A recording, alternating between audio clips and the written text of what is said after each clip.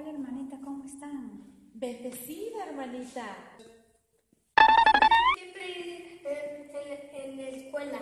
Yo aprendí las imágenes hoy. Mí también. ¡Mira, imágenes! Vamos a preguntar por, por qué las por qué las por qué tenemos por qué tenemos por qué el católico tenemos.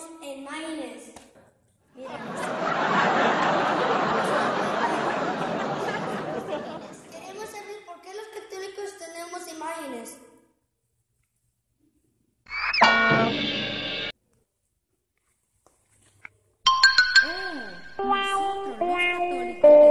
imágenes como una señal de salvación que nos recuerda los mandamientos de la ley de Dios. ¿Dónde lo encontramos, niños? En Sabiduría, capítulo 16, versículo 6 al 7. También lo encontramos en Éxodo capítulo 25 versículo 18. Asimismo hará dos querubines de oro macizo y los pondrás en las extremidades de la cubierta. Tenemos el ejemplo de Moisés, cuando Dios mandó hacer los querubines.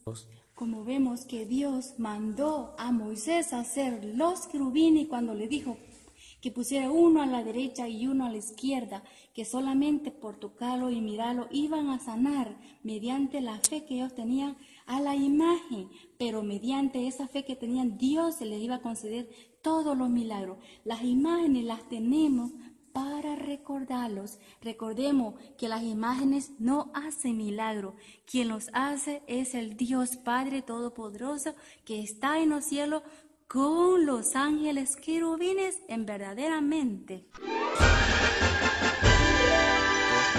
¿Verdad que sí, hermana? Claro que sí. Y también lo encontramos en, en Juan capítulo 3, versículo 14 al 15. Dice así. Recuerden la serpiente que Moisés hizo levantar en el desierto. Así también tiene que ser levantado el Hijo del Hombre. Y entonces todo el que crea en Él tendrá por Él vida eterna. Precisamente por eso en nuestra iglesia aparece la imagen de Jesús crucificado en una cruz y es a donde nos recuerda que Él dio la vida y pagó nuestro pecado muriendo en lo alto de una cruz. Hemos sido comprados con su sangre preciosa.